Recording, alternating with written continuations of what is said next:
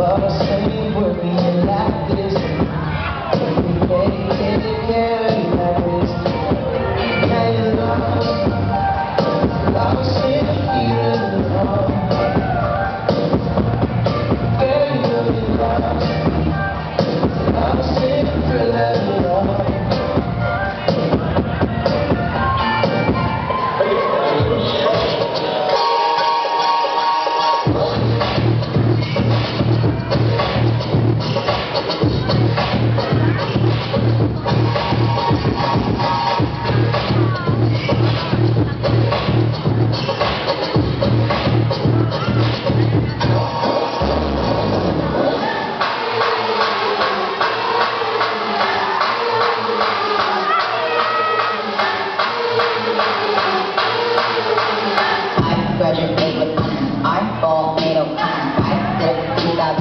aged out.